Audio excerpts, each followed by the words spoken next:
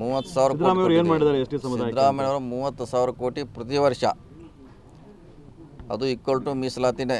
ಮೂವತ್ತು ಸಾವಿರ ಈ ಜನಾಂಗದ ಕಲ್ಯಾಣ ಅಭಿವೃದ್ಧಿಗೆ ಮಾಡಿದ್ದು ಮೂವತ್ತು ಸಾವಿರ ಸಣ್ಣದಲ್ಲ. ಕೇಂದ್ರ ಸರ್ಕಾರದ ಬಜೆಟ್ ಐವತ್ತು ಸಾವಿರ.